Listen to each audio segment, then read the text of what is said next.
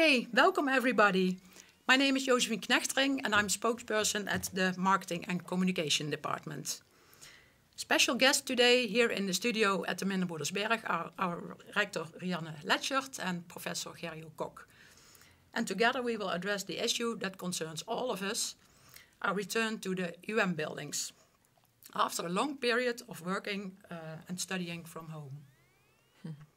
Well, Rianne, how did you as a rector experience the pandemic and the lockdowns?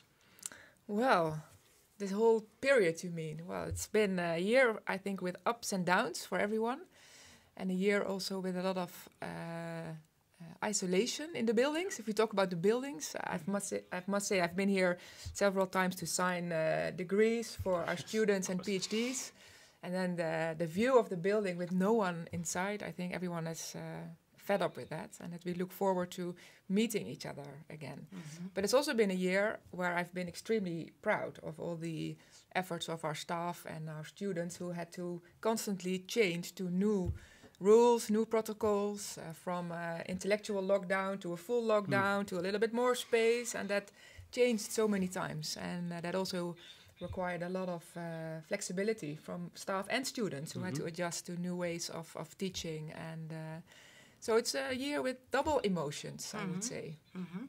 And how did you, uh, from the executive board, monitor how the community dealt with this whole situation? Because yeah, we have to had to adapt each time, but also the policy had to adapt. And yeah. how did you monitor that? How the people uh, accepted it? Accepted it well. Not only monitor, but of course we also had to develop policies all the time. So what did we do? Uh, all members of the executive board have different platforms with, with, with whom we engage. So for me, it's uh, I had uh, regular meetings with the vice deans of education in the, uh, the, the peak of the crisis on a weekly basis, and then later on a biweekly basis. That that remained the entire year, and also with the heads of the Bureau of Education, which is normally a group of staff members that I would not interact with on a regular basis, but now for the entire year also uh, bi-weekly, uh, later uh, every three weeks, I would meet with them and ask them, okay, what's what's going on? What what do we need to change? Is it working? What we are actually uh, developing? Because if it doesn't work on the wor work floor, it, we are doing mm. the, the, wrong things. Mm -hmm. Now the same for the other members in the executive board. For instance, Nick had uh, weekly meetings uh, where also Gerjo would attend with the directors of all the faculties and service centers to see if everything in the buildings was organized in a, in a proper way. And of course, we had a crisis management team uh, that would uh, also meet on a, we have lots of meetings, on a weekly basis to uh, make crisis decisions. Uh, also with a, university council attendance, uh, the president would be there as well to, to make sure that the participatory body was uh, at the table.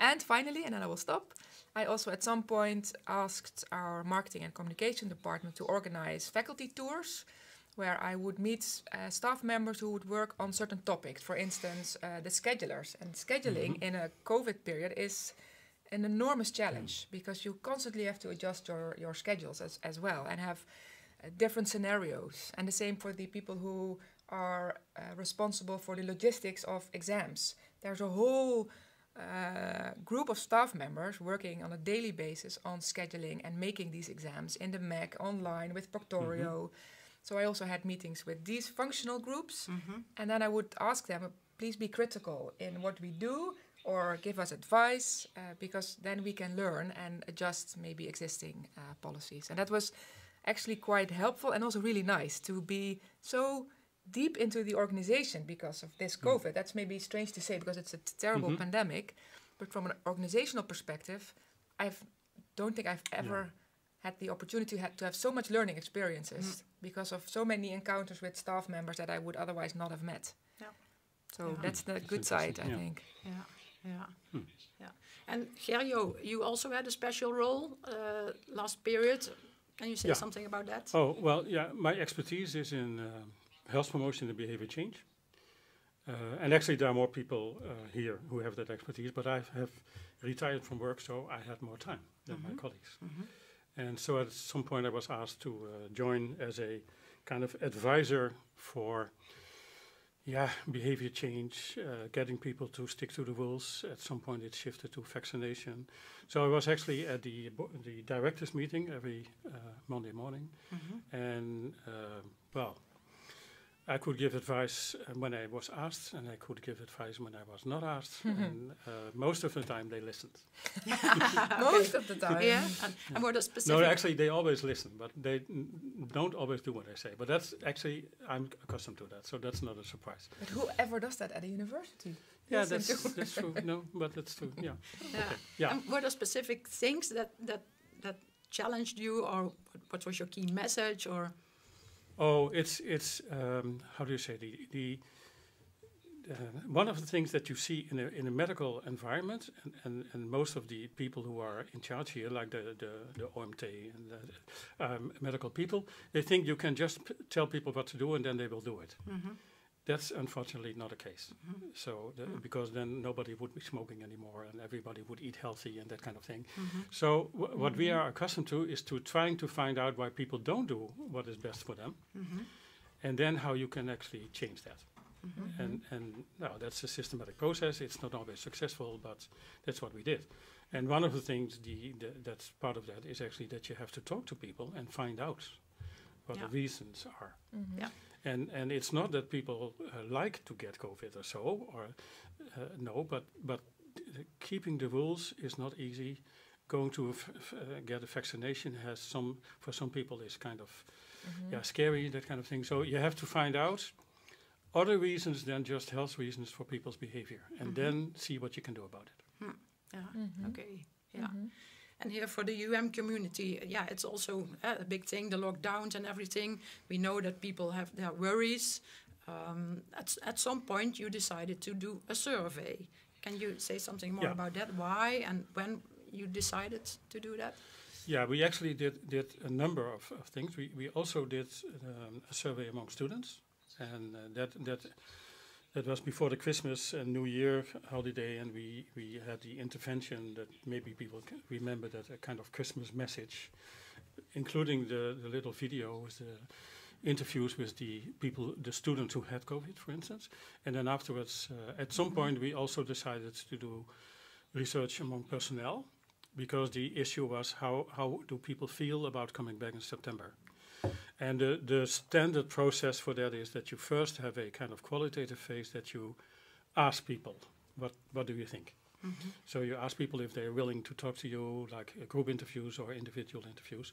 And that is not so much um, to have a representative idea, but just get all kind of different ideas. Uh, and then at some point you say, okay, I have all these ideas, and now I do a survey um, among a representative sample of the target population, and then we found out the real data. And that's what we did. Yeah, good. Uh, last week you presented the results. Um, the reason why, one of the reasons why we are here is that you want to share them with uh, the community, the UM communi- community. So if it's possible, we would like to have the Yeah. slides here. And Yeah, you and can- I can talk a little bit around it. See if they come. if someone presses the Yes. button. Yeah. Yeah. Yeah. So again, thi- this this survey was based on all kind of things that people told us, and uh, we sent it out to all the people who are somehow involved in the Maastricht University. Uh, the the Department of Marketing and Communication has a list. Uh, that is almost 8,000 people, and we had almost 2,000 people completing the survey, and that is about 25%, which is relatively high for things like this. So that means that people are interested. And the focus was on when I try to imagine the situation in September, I think that UM will be a safe place to return to. That was the focus. And then first we asked all kind of, of specific beliefs, and then at some point we say, okay, how do you feel? So can we have the next? So if you go to uh, 12 o'clock, uh, then you see on the right the people who disagree, who don't feel safe, and on the left the people who agree, who feel safe. Uh, luckily, that's that's the big part. Uh, but there is one quarter of the people who are actually indicating that they don't feel safe. They don't think they will feel safe in September, and there's also a group of like 18% who actually doesn't know yet. So there is a serious group of people who are worried about coming back in September. Now, then we, we asked a little bit more. Can we have the next slide, please? Yeah, it's not that people are not happy to come back. It's, it's clear that people, uh, majority is happy to start again. If you look at the top, 85% is happy to see their colleagues again, uh, contact with students again. Uh, but um, like there are problems, and at the bottom you see that some people are worried and that kind of thing. So it is a combination of I like to come back, but at the same time I'm a little bit scared. Yeah. Mm-hmm. Can we have the next slide? Uh, if we look at what, what people worry about most, and this is the whole group, is um, well that, that we are an international uh, university, and moreover it's after the holidays, so people come from all kind of countries in the world, and some of them are high risk countries. And well, what does that mean? Uh, there are people who don't want to to take the vaccination. Uh, that is, uh, you don't know who they are. They can be your colleagues. Uh, meeting in large groups in, in educational settings, for instance, sometimes. 50% still think that it would be possible that you would become infected in September. That is a high number. Mm-hmm. And some people said, well, my roommates are not always as careful as I think they should be. So that's the, the thing. So again, these are the people who actually want to come back, but they are also worried. Now, then we asked about vaccination, and that was actually the, the, the positive thing because almost anyone was already vaccinated or wanted to be vaccinated. So that's easy. And we actually now have a web page on the university website on vaccination, and people can go there, and it's still in development, but it's Mhm. already there. So our idea was vaccination is fine. Uh, it's not a problem. Uh, next, please. So the, the, the this is a kind of summary. So uh, UM employees see risks and danger, and they describe uh, unsafe and predictable encounters and settings in September. Not that they think it will happen, but it might happen. Now we, we talked about it, and we looked also at the, the qualitative data, what people write about this, and there are basically two explanations for that. And one is, well, epidemiology is has all kind of uncertainties, and it might be true that September is not everything is safe. Uh, we don't know. It it it may that's that's something we know uh, halfway August or so, and then uh, we know how the situation is. But as people, if people say I'm not sure about September, that may be right, basically. Then there is psychological reason, and that is that's interesting that for more than a year now, people have everybody who is a stranger should keep, keep away, uh, and, and even when they're not strangers. So, and then suddenly you go back and you realize that all these people are standing around you and you're sitting next to them, and people are kind of this is not that it doesn't feel good. Even when when everybody tells you that it's safe, it doesn't feel good. So that's that's another thing. And that also means that our most important recommendation is uh, okay, it's we should get people back, but take into account that people have difficulties. So have a kind of yeah transition period that people don't have to be there full time the whole day, but on the other hand, don't don't agree that people stay at home. It's it's yeah they have to go back, but we we will. And some people will not have any problem. Some people will, and then make sure that they can slowly get accustomed to it. And at some point, you say, okay, now we're back to normal. And the normal includes also something else. If that's the next slide and also the last one, that was actually a, a more or less a surprise. At the end, people could write all kind of things. Uh, uh, some people had specific problems. Some people told us that the questionnaire was silly and that kind of thing. But a lot of people actually mentioned um, that working from home in the beginning was not so, but at some point they realized it was not too bad. So a lot of people say, well, working from home, I, I actually like it. Can we can we not go on somehow in a kind of hybrid situation? So, but our next uh, recommendation was, well, uh, to the board was look, look at the positive aspects of working from home. And the interesting thing was we sent this in, and an hour afterwards we got an email from the board that they already quick. had a big plan. Yeah, So my yeah. colleagues were very happy, but I told them, unfortunately, the board was already a year working on that.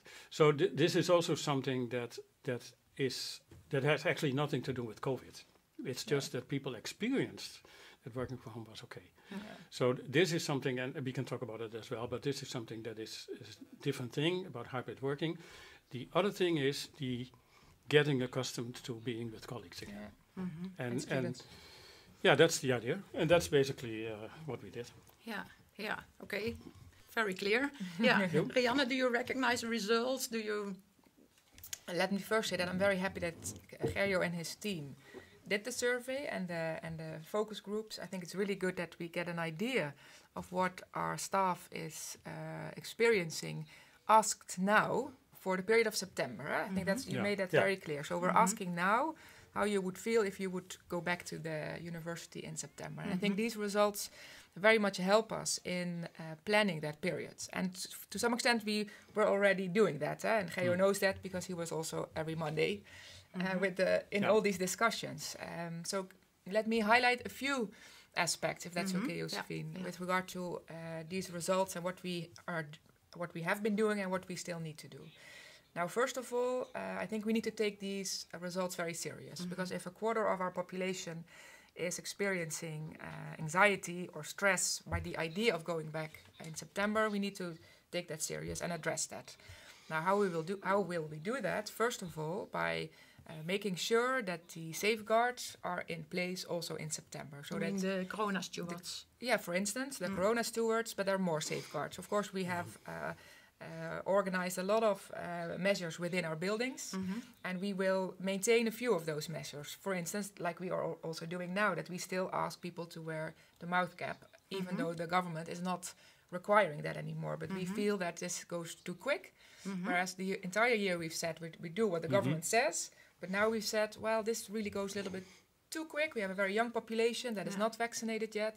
Yeah. So let's not get rid of all the measures right away. But do you want the mouse mask in all locations or Uh, specific now, eh, this period. Sept- Yeah? September we'll yeah. decide later on. But Okay. for now, so we, we try to anticipate on the uh, feelings also, of course, of our staff and students. Mhm. Now, for September, we've already said that we want uh, to maintain the Corona stewards in all our buildings. So that is both faculty buildings and Mm. service centers, the library, the student service center. So that also when it's about um, yeah, guiding people when they go back to work on how you should behave, at least the Yeah. Corona steward can Mhm. play a role in that. So we will start training those stewards again in uh, in the beginning of August, so that we will be prepared. Um, we also have said that the transition period actually starts start the 26th of June when people were allowed to go back to work. And we've said we don't want 100% of our staff to come back to work because it will not be very wise. No, let's see, considering also that this is the start of a summer period where also classes and, and tutorials have stopped. Let's see how many people want to come back to work. Let's see how we uh, can monitor behavior in our buildings from now till September. That's already uh, Yeah. a, a phase that we can monitor. Now, as of September, we have said then also still a transition period uh, is is in place Yeah. because we are not going to say to our staff you all have to be 100% back uh, uh, to the campus Mhm. for tasks that require attendance on Hmm. campus we ask people to come back so if you teach a tutorial or another you, you work in another role where uh, physical contact with staff and students is, is Yeah. necessary we ask everyone to come back but we also say if there are reasons why you are in- anxious or concerned you discuss that with your line manager and if that is uh, going to be a little bit problematic we have of course our company doctor to which you can Yeah. then turn who can then play the role of well the assessor because we cannot say everyone just decides on their own if No. they come or not because we Mhm. are an organization with a, a clear objective in providing physical education to our students and we're not going to be an online education university we're not going to Mhm. Yeah. go into that, that direction Yeah. so I think um, so that's with regard to the period September till Christmas, and that's also the period in which we can see how staff is going to behave with regard to hybrid working. Mm-hmm. Now, already um, several months ago, I think before Christmas, if I remember correctly, we asked the dean of the law school to chair a task force Mhm. that would prepare a policy for uh, future work at UM. It So is more called the longer term. the longer term, also Yeah. without Yeah. COVID, because indeed we see that Yeah, yeah. staff have experienced it and also see the benefits of working Yeah. at home. Yeah. Now that task was already came with a quite an extensive policy document with all sorts of uh, uh, yeah, uh, recommendations on how we can uh, make progress in that um, on, on these topics. But it's, in what fields do they have recommendations? uh, recommendations with regard to how we as an um, employer can facilitate good working arrangements at home because what you don't want Mhm. is that we get staff members with back complaints neck No, her- exactly. hernias uh, then Yeah. we have another problem to solve so you need to think what does that mean for your equipment and will you have double equipment at home and at the university that Yeah, has a will cost cost some money. Yeah. Yeah. and who's going to pay that? Yeah. It's gonna be, someone has to pay for it. Um, so there are some first thoughts on how to do that. There are, it also affects, for instance, our uh, travel policy. So uh, woon-werkverkeer, eh, so traveling from Mhm. home to the university, that will change. It that might change uh, parking policies. It changes our whole facilities because if Yeah. a large part of our staff would like to have, for instance, uh, three days uh, at work and two days at home, do we need all the buildings that we have, Mhm. which ha- also has a cost? And Yep. what kind of community feeling do we keep if we are encouraging people to work from home? Because a university is also a university because of the fact that we engage with each other, other, staff Yeah. and students. Yeah. Eh, that whole academic climate is something that you as colleagues would like to maintain and as students would like to be part of. Yep. So th- these are all aspects in that policy that we've said till September, or till the Christmas. We're not going to have a very rigid framework, and within that framework, every faculty and service center has to uh, work. No, let's start this experiment experimental phase. Let's monitor what's Mhm. happening in the faculties and in the service centers, and then start having uh, the formalized policy because it will influence existing policies, as I said, re- relating to parking, travel, uh, working facilities at home. Uh, will you still have an office if you choose to work from home? Uh, will you get then a flex place at the university? That all needs to be kind of. Yeah. uh, decided upon. And also, for instance, if you go, if we start facilitating uh, equipment at home, we need to go into procurement. We cannot just say everyone just buys at IKEA. Uh, Yeah, A desk and then you get it back from the office. No, that's not allowed. Eh? So there are many legal obstacles. How do you know that I bought it? Okay, sorry. You can do it with your own money. You can do Okay, whatever you yeah. want, but not to say, okay, I'm gonna bring all the invoices no, no, to the I- university. I so, agree. yeah, I didn't. Yeah, yeah. so Yeah. that's. But I'm very happy that we already have that whole policy document Mhm. to start a discussion. Yeah. And Yeah. we've d- we've had the discussion in the management team. Uh, we had a discussion in the university council, and we're gonna proceed there also in September. But we're gonna require flexibility again from staff and management, and that's Mhm. gonna be also quite a test because. Yeah. Uh, what and it will be a little bit chaotic. I have to be honest here as well, because what has happened, staff members have taken office material Mhm. back home, Oh, Yeah. yeah, of course. and then they want to come back to the office, and then they don't have a desk anymore, or Yeah. a chair, or whatever, they took. Yeah, And they ask us now, will you make sure that I have then a desk and a and a chair again? No. We cannot have double equipment everywhere. Yeah. So you need to see in what other office or at the corridor Yeah. you can find material. And that requires flexibility and sharing and but we hope that we all have Yeah. responsible it has a logic, isn't it? So yeah, Yeah, we, you need to be a little bit Yeah. creative. Again, Mhm. from September till Christmas, definitely. Yeah. people will understand that. I hope. They may not like it, but they will understand it. Yeah. Yeah. Yeah. Yeah. I have a question from the audience. Um, someone is asking, um, how should we deal with non-vaccinated staff members, uh, taking into into account the privacy polic- policies, uh, the GDPR, for Yeah. example? Well, we will we will not know No. uh, because Yeah. we will not ask. Uh, Yeah. So We're not we're not allowed to ask. we're ask, not right? allowed to yeah. ask. Um, so we we will not know. So Yeah. the Yeah. so that's a risk that someone takes who comes to work not being vaccinated, hmm and that might pose that risk for people who are still waiting vaccination. Yeah. Yeah. Yeah. Yeah.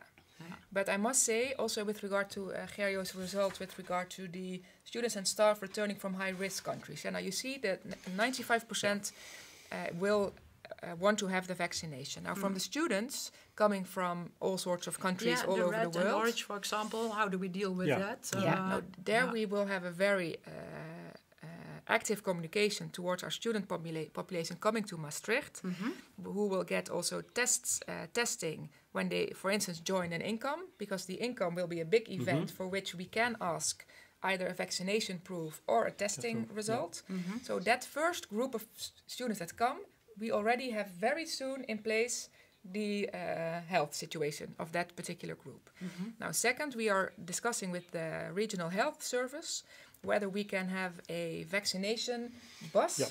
or a place where we can have quick vaccination for students coming from uh, those countries so that they will very soon be. Uh, Yeah. be, be, be safe also for our other population. makes but we're still working on that because that is, of course, dependent on national policy if we can do that. Yeah, yeah. And at the INKOM, it's allowed to uh, Yeah. ask the certificate of Yeah, vaccination, event. right? Yeah. Yeah, that's an an- event, it's and an that's the event. difference Event. with It's a- education. yeah, Yeah. it's not an Yeah. educational uh, activity. Yeah, yeah, okay.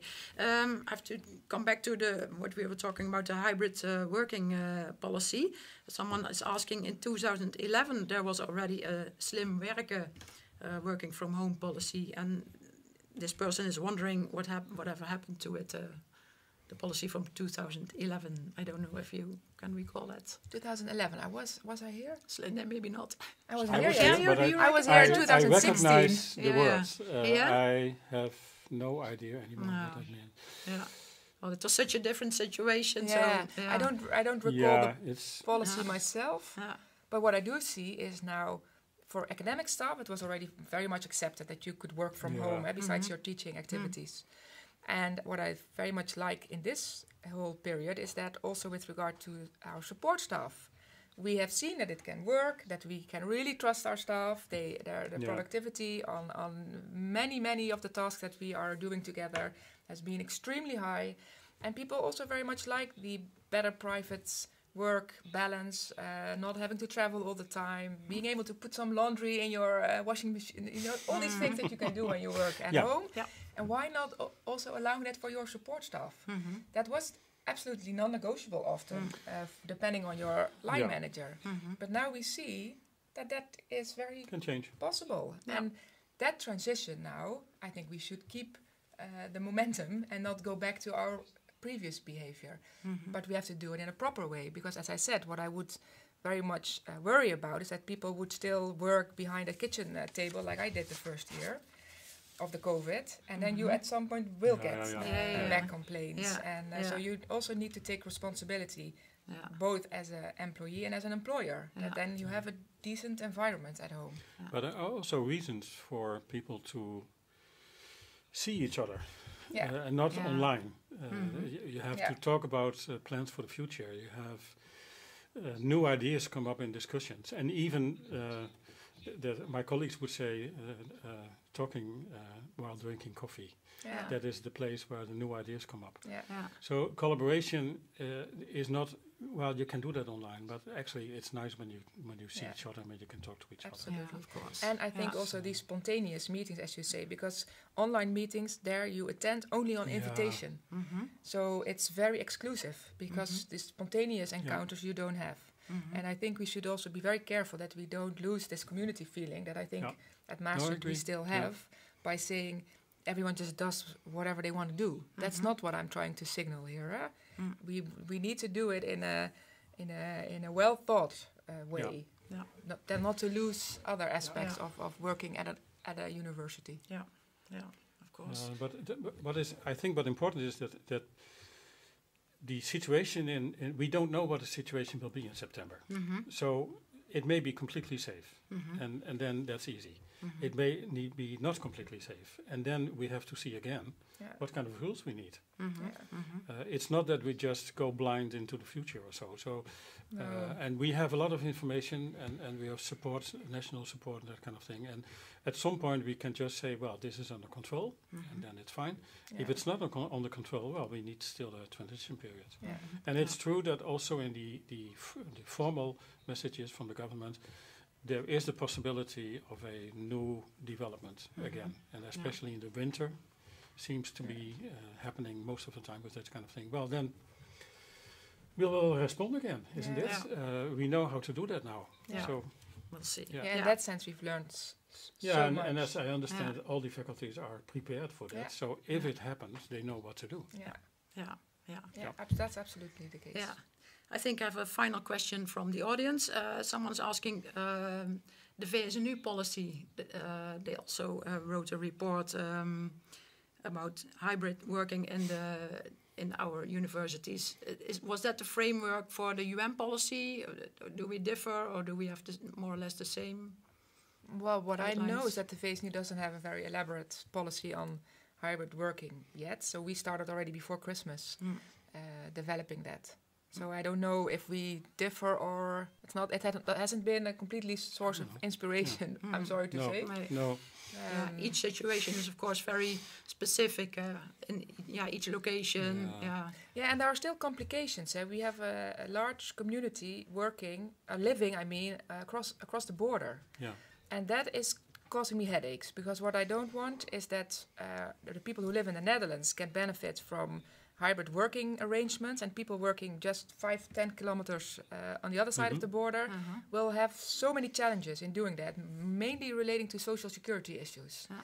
Now, I'm not saying that we can solve that because I'm not the legislator, but it is something we really need to have a close look at. And that is for Maastricht and the other universities crossing borders, Mhm. Mhm. uh, an additional Yeah, yeah. complication that I think we also should ask political attention for, because otherwise we get really uh, inequalities in our uh, institution. Yeah.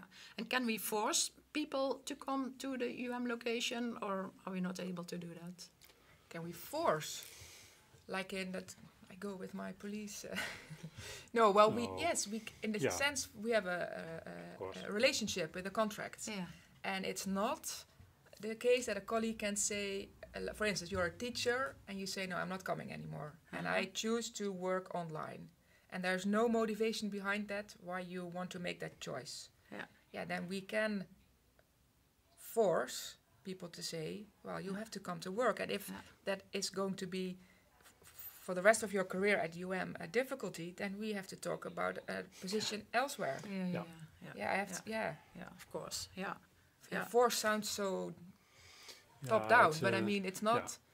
Uh, it's not a. Uh, a Yeah, you're a member of the organization, isn't it? Yeah. So, so we can talk about almost anything in this organization, but Yeah. at some point you have to Yeah. show up. Yeah. And And, and, uh, uh, and if not, then you Yeah. have to make the choice if you're in the right place. Yeah, yeah. And for Yeah. students, uh, how do you think uh, how all the measures we had uh, last year and a half, how it how will it impact being able to teach and learn remotely? Do you think things will last, or will it change our educational system? Yes, uh, in the sense that we will. We've learned a lot, and we've, uh, I think, made several steps to also improve our online offerings. Uh, what we've now also called technology enhanced education, and all faculties are now developing plans to see in what way technology can enhance the learning experience of our students, Hmm. and how we can also uh, assist and advise our staff in uh, going into that direction without losing the physical elements of our educational vision, because that's what we very much still uh, want to hold true to. eh? So it's not that we're going to go into a fully online educational format, but of course there are benefits, and those benefits Yeah. that also fit to our small scale intensive education. I think that's we should really make the, the best match between our PBL, our international classroom, and then technology. And what is then the best uh, modus to do that? Now there are many uh, well equipped uh, st- staff members who are at the moment developing that strategy for Maastricht University and also looking at how we can then improve our infrastructure and the services that we provide and invest in, in teacher professionalization. It's not just Mhm. something you do on top of everything else that you do. So if we're going to go into Yeah. that direction, then we should also have the services that go with that. Mm-hmm. And that's all in development. And I must say that same with future working Yeah, the mindset has changed. If I had said one and a half year ago, we're going to do more in technology enhanced education, I would probably have needed 10 years with milestone deliverables, strategic mm-hmm. plans, Yeah. lots of discussions mm-hmm. everywhere. And now people are less reluctant to use technology. yeah, they know what you're talking They- about. they know what isn't it is Yeah. now. Yeah, yeah. Like, like with Zooming Yeah. and Teamsing, I never did that. no.